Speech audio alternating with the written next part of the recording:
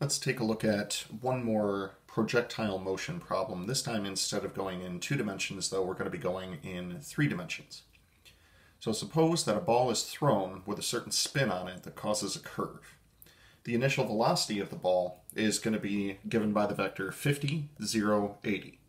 So essentially 80 feet per second in the upward direction, the z direction, and then 50 feet per second in, why don't we just call that the east direction. So initially, from the initial position, it's going to be going up as it goes to the right. Now, there is an acceleration on it that is going to drag it in the southerly direction as well as back down toward the ground. So essentially what's going to happen is we're likely going to see something like this as far as the curvature of the ball is concerned. And it's going to be traveling up along this curve and then landing somewhere down here. So the question becomes where is it going to land and with what speed is it going to land as well? Now we've been given the acceleration function, a of t is equal to 0, negative 4, negative 32. What we'll do is we'll go ahead and integrate this to come up with a velocity function. So velocity function in this case is going to be the integral of 0 is 0, integral of negative 4 will be negative 4t, and the integral of negative 32 will be negative 32t, plus whatever the initial velocity happens to be. In this case, initial velocity is given as 50, 0, 80. So initial velocity 50 at 0, 80. Now again, the reason that this works out is because if I were to plug in t equals 0 here, we would have simply the 0 vector, so we would need to add to that 50, 0, 80 to come up with this initial velocity, as it were. So that means that our velocity function can be seen as 50, negative 4t, and then negative 32t plus 80.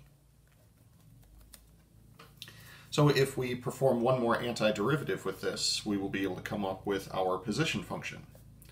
We'll call that r of t, and that'll be the integral of our velocity function with respect to t. Now, given that we'll just define our initial position as being the origin, there doesn't need to be any initial condition thrown on this, and we could just integrate each of these directly. So in the x direction, that'll be 50t. In the uh, y direction, that'll be negative 2t squared. And in the z direction, negative 16t squared plus 80t. Or we could think of this as being parametrically defined where here is your x, here is your y, and this whole thing is your z. Now that we've actually figured out the position function, let's go back to the original problem and say, what are we actually trying to figure out here? So the question was, where does the ball land and with what speed? So we can figure that out as determine r of t when this thing is going to land somewhere way out here. The important thing is it has landed once its um, height gets back down to zero. So determine r of t when z is equal to 0 and the magnitude of the velocity vector uh, also when z is equal to 0. So I suppose the first thing we should do is set z equal to 0 and then we can solve for t. So I'll take the third component and set this equal to 0. Now there is a common factor that I can pull out. I'm going to pull out a negative 16t, and upon pulling that out I'm going to get t minus 5 left over. Setting each of these equal to 0, we get that t is either equal to 0 or t is equal to 5. Now the interpretation of each of these is when t is 0, that's when it's initially being launched from wherever it is. It will land again once it gets back down to t is equal to 5.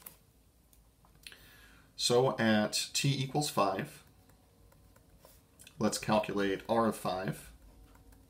So I'm going to go back to my r of 5, and we're going to plug, or excuse me, r of t, and plug in t equals 5. So this will be 50 times 5, negative 2 times 5 squared, and then, well, technically we already know what this is going to be equal to, though, because we just set this equal to 0.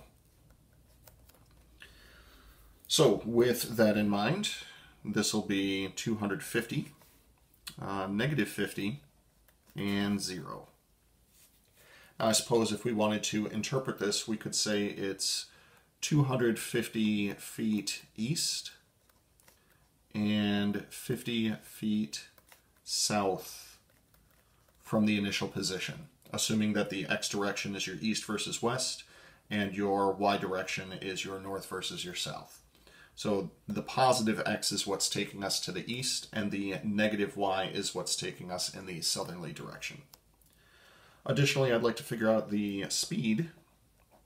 So we'll start by saying let's calculate v of 5. So heading back to the velocity function right here, I'm going to be plugging in t is equal to 5. So that'll be 50, negative 4 times 5, and negative 32 times 5 plus 80.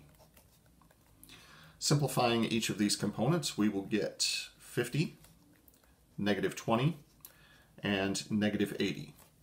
Now, something that I'd like to point out that hopefully makes a lot of sense is that the initial velocity in the z direction was 80. The velocity when it landed is negative 80. Whatever the launch speed is in the z direction, it should come down and hit the ground with essentially the same speed. Finally, taking the magnitude of this, we will get our answer. So this will be the square root of 50 squared plus negative 20 squared plus negative 80 squared. Now, if we want to be really technical about what we're doing, we should simplify this radical as much as possible. But that doesn't really give us a, a genuine real world answer. So we'll go ahead and approximate this. If you wanted to go for an exact answer, I would say go ahead and simplify by factoring 9300 into 100 times 93, then taking the square root of the 100. But given that this is a real world problem, we should probably go with a real world answer and say that this is about 96 point, we'll call it 44. Units on that, of course, would be feet per second, since that's what we were given in the original problem.